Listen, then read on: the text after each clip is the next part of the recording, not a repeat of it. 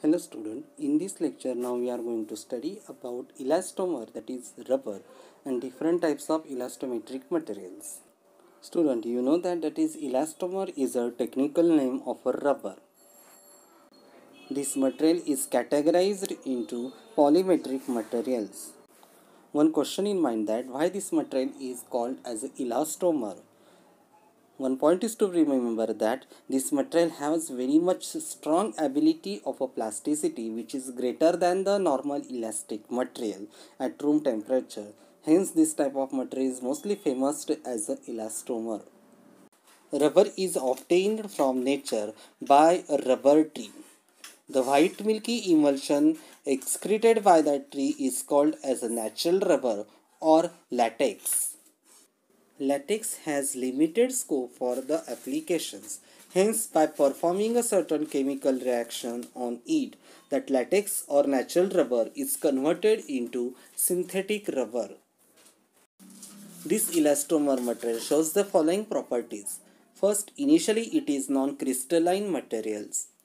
Second, it is a non-conductor of electricity and third one is it shows the high resistance against chemical and corrosive environment as I told you, you know that natural rubber has a minimum strength for different types of processing and application. Hence, there should be must conversion of natural rubber into synthetic rubber. So, we are going to study the different types of synthetic rubber, their properties and applications.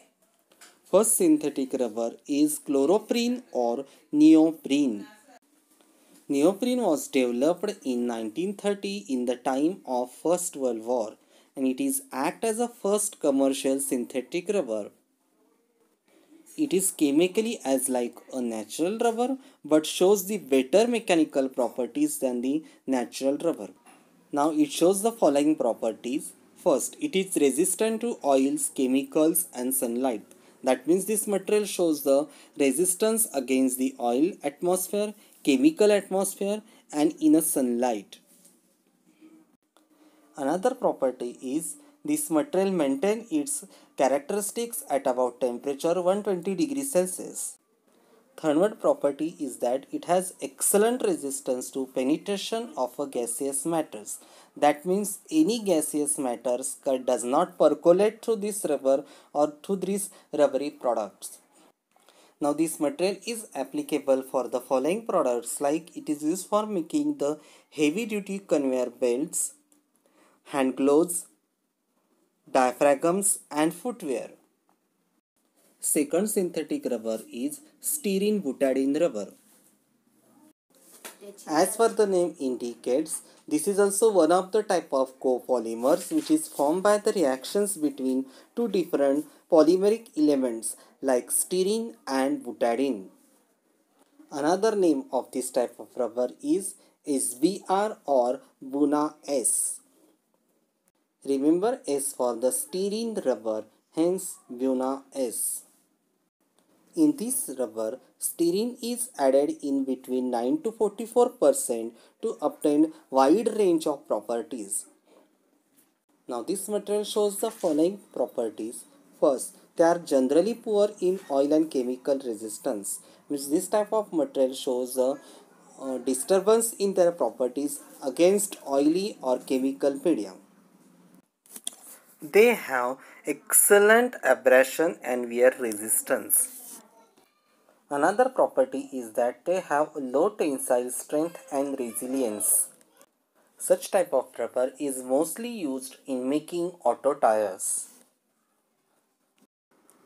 Nitrile butadiene rubber. It is one of the type of copolymers which is formed by acrylonitrile and butadiene. That means this type of rubber is made from these mentioned different copolymer materials. It is also known as Buna N. Now this material shows the following characteristics. They have excellent resilience. That means this material has a capacity to absorb the different types of energy. Due to better resilience, this type of material has some better amount of flexibility. Second property is that they are generally low in mechanical properties. That means this type of material shows, uh, rubber material shows the lowest mechanical property as compared to previous two. Application of this uh, material is that first one it is applicable for making those products which shows the medium flexibility at room temperature like a hose pipe it is used for making the different types of flexible couplings and rubber rollers. Student, I hope you betterly understood three three different types of synthetic rubber.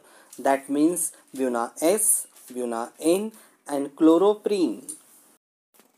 Now student, there are few questions of homework. Solve this question in your notebook.